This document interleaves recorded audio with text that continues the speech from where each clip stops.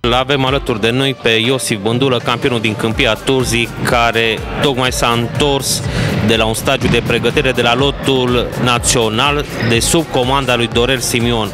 Cum a fost perioada de pregătire la lotul național? Bună ziua! Vreau să zic că a fost o pregătire corespunzătoare pentru meciurile ce va urma.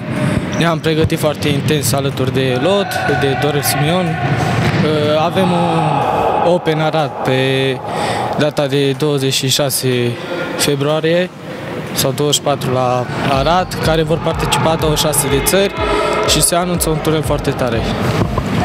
Vei continua în 2023 la categoria 60 de kg sau vei urca în categorie? Nu, voi rămâne tot la categoria 60 de kg. Știm, avem informațiile că vei reprezenta România la campionatul european de tineret la categoria 60 de kg. Este ceva unic pentru Câmpia Turzii. Ce speranțe ai de la acest turneu? Foarte important. Da, e o experiență foarte mine. În primul rând e un obiectiv care vreau ca să îl obțin. Visez la medalia de locul întâi de aur și vreau ca să le mulțumesc antrenorile mei de club că m-au ridicat până la acest nivel și pe parcurs lui Maestru Dorel că se ocupă din ca să ne urce pe dreapta cea mai mare și își pune speranța mea.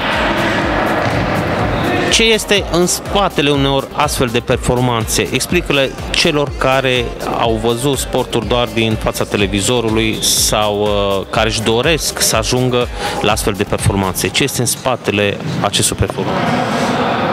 Nu este foarte ușor, trebuie ca să faci eforturi mari, îți trebuie disciplină, muncă, o tignă și să-ți depui tu în mintea ta ce rezultate vrei ca să ai, să, debe, să te depășești pe tine însuși. Mulțumim Iosif și îți dorim mult succes, îți ținem pumnii și suntem mândri de tine. Vă mulțumesc frumos!